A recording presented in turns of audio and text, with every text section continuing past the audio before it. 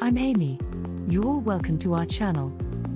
Today, I share with you very important 10 tips for your loving dog pet. First, we invite you to subscribe our channel, and we appreciate your support. So, let's go to video.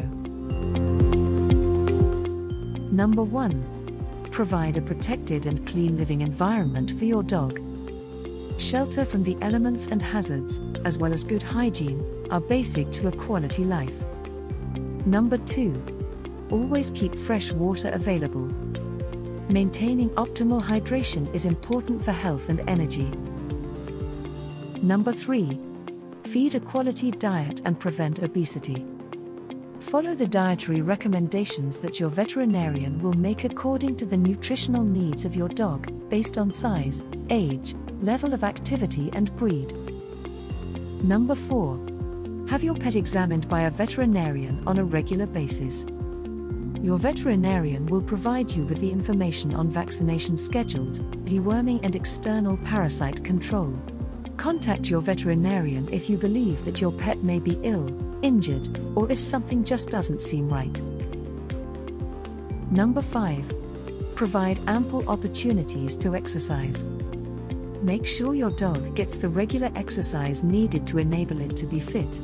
By being in shape, your dog will be more capable of participating in the activities that it enjoys. Number 6. Communicate with your dog and develop a relationship. Quality time will help you get to know your dog and understand particular needs that it might have, as well enhance your ability to recognize early signs of an illness that could be developing and that will be helped to prevent many undesirable behavioral patterns. Number 7. Train your dog to follow the simple commands. The better your dog is at following basic and necessary commands, the greater the chances are that your dog will live a safe and long life. Number 8. Practice reproductive control. If you do not intend to create puppies, spaying or neutering is a certain option. Consult with your veterinarian in regard to other options that are available. Number 9. Dental care is very important.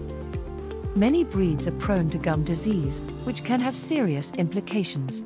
Infection resulting from this condition leads to premature tooth loss and can commonly cause infections in major organs, including the heart valves. Number 10. Don't overlook grooming and nail trimming.